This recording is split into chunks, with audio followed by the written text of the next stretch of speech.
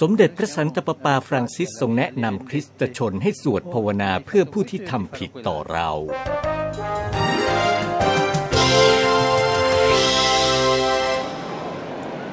เที่ยงวันอาทิตย์ที่ 20 กุมภาพันธ์ สมเด็จพระสันตะปาปาฟรังซิสเสด็จออกนำสวดทุสวรรค์แจ้งข่าวณลานหน้ามหาวิหารนักบุญเปโตรนครรัฐวัติกัน วันนี้พระองค์ทรงเชื้อเชิญผู้คนให้ปฏิบัติตามแบบอย่างพระเยซูเจ้า และโต้ตอบการที่ผู้อื่นกระทำผิดต่อเราด้วยความเมตตากรุณา มากกว่าที่จะไปโกรธเคืองหรือใช้ความรุนแรงกับเขา Cari fratelli e sorelle, buongiorno. ในคำสอนก่อนทรงนำสวด สมเด็จพระสันตะปาปาทรงหันความคิดของพระองค์ไปที่พระรสารประจำวันของนบุญลูกาบทที่ 6 ข้อ 27ถึง38 เรื่องความรักศัตรู ความเมตตากรุณาและความเอื้อเฟื้อเผื่อแผ่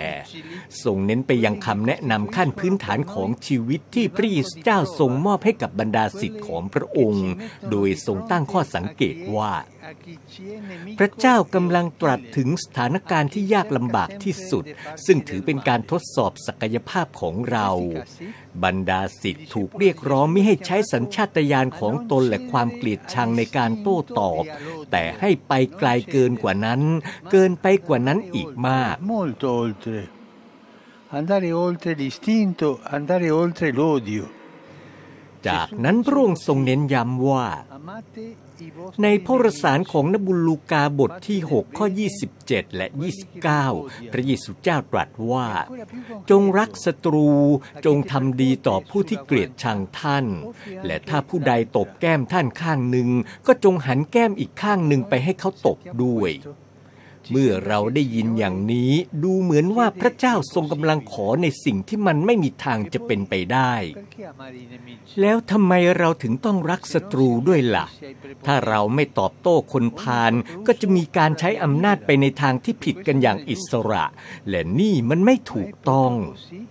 แต่มันจะเป็นอย่างนั้นจริง ๆ หรือ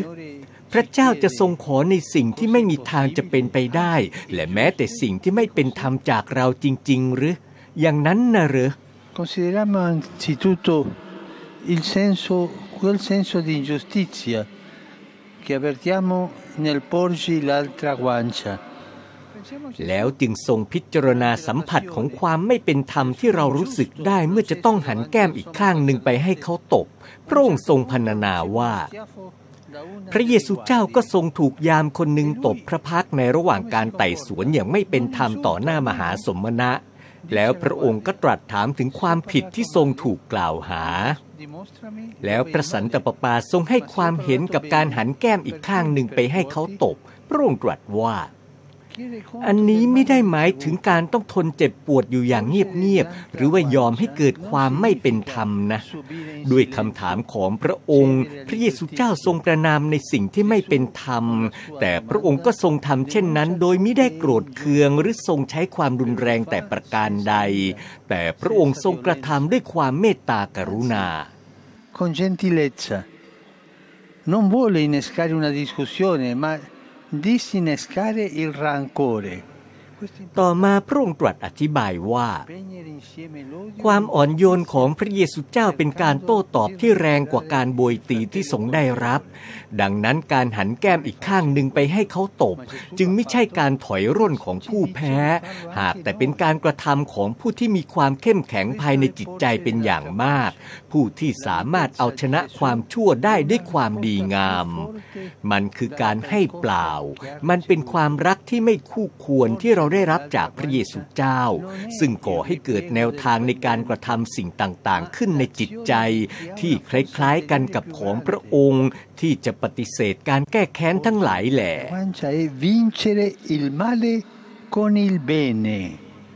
จากนั้นจึงทรงตั้งคำถามว่าแล้วมันจะเป็นไปได้หรือเปล่าที่ใครคนหนึ่งจะรักศัตรูของเขา กับคำถามนี้พระองค์ทรงให้ข้อคิดว่า ถ้ามันขึ้นอยู่กับเราเพียงคนเดียว มันก็คงจะเป็นไปไม่ได้ แต่ถ้ากับพระจิตของพระเยซูเจ้าด้วย เราก็จะสามารถโต้ตอบความชั่วด้วยความดีงามได้ และเราก็สามารถจะรักผู้ที่เขาทำร้ายเราได้ ช่างน่าเศร้าที่ผู้คนพากันภาคภูมิใจนักที่ตนเป็นคริสตชน แต่กลับมองผู้อื่นเป็นศัตรู และคิดแต่จะทำสงครามกัน distrugge la persona. แล้วทรงสรุปคำสอนโดยทรงกระตุ้นผู้คนให้สวดภาวนาเพื่อผู้ที่ทำผิดต่อเรา และวอนขอพระจิตโปรดทรงกระทำในจิตใจของเรา ให้เราอ่อนโยนตามแบบอย่างของพระเยซูเจ้าที่ทรงกระทำตอนที่ทรงถูกไต่สวน soprattutto verso chi è ostile e non ci piace.